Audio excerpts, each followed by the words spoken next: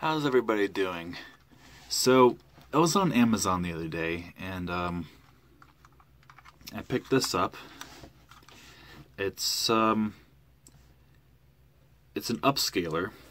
You um, hook up composite to here, and um, it comes out through HDMI, which means you could um, you could play it on an HD TV, or in my case, um, my computer monitor uh, with my AverMedia capture card, an HDMI to VGA adapter, and a VGA splitter. So yeah, it's a little roundabout, but it works. Um, so I wanted to see, like, this is like ten dollars, so I don't expect much out of it, but at least I thought I could make a pretty good video, you know. So yeah, um, I'm gonna try it out, and uh, yeah, we'll see what happens. Okay, so here is the uh, Famicom. I'm gonna be playing the um, Japanese Super Mario Bros. 2. Now, first of all, I don't like the widescreen, so I'm gonna fix that. And that is the first um, real problem with this um, converter.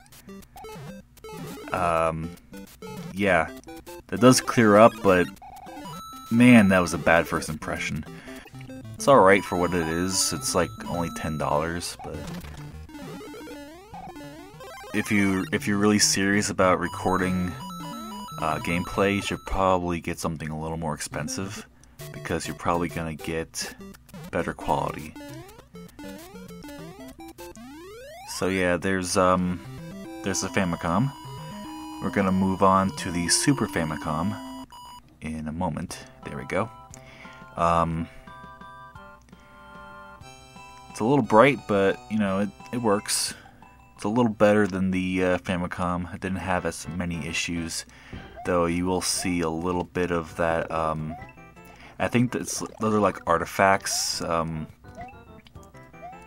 probably from the converter itself. Though I'm not sure if it's that or maybe it's just uh, how it you know interacts with my capture card.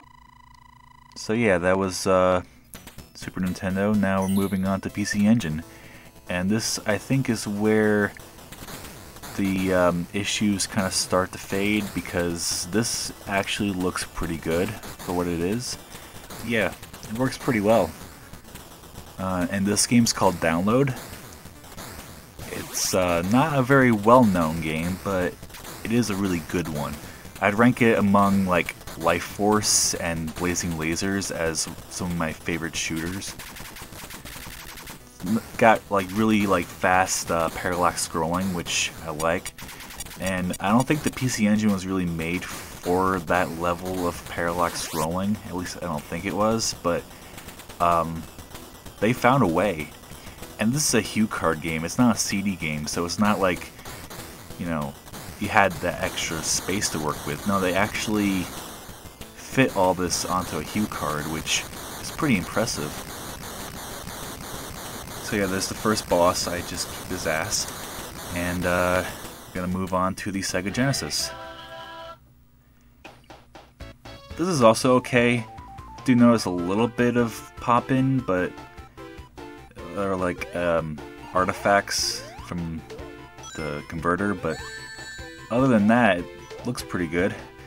Like, if it didn't force it into widescreen, if, if it had just, you know, been like this, then I would give it a higher recommendation. And also, if it didn't have so many, like, um, artifacts in my Famicom uh, footage, then I would give this a glowing recommendation. But as it is, it does seem to have a few too many problems. Um, and the last uh, system I'm going to record is, of course, the Nintendo 64.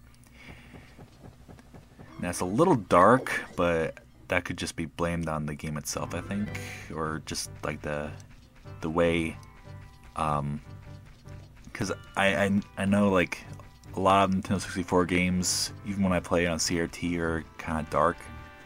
So, yeah. But here it looks uh, pretty okay. So, I've had some time to ponder and ponder about this uh, about this upscaler, but honestly, I mean, when it works, it works very well. Um, with the PC Engine footage, that was actually pretty good. Um, basically, like everything after the the Famicom footage was better.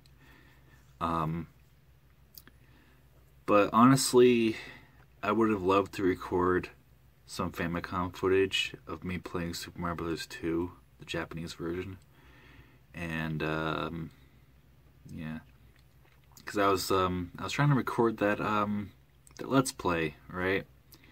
I have the first part on YouTube, but um, the power went out,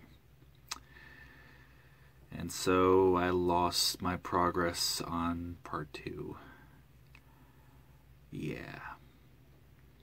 I guess you could say I'm really unsure about this, but I'm, I'm probably gonna return it and see what else I can get. So, with that said, um, this is Jake Spider Monkey 1994, as always, signing out. Have a wonderful day, and I got a frame from my Mario 3 poster in the background. I hope you noticed that. Um, yeah. It's awesome.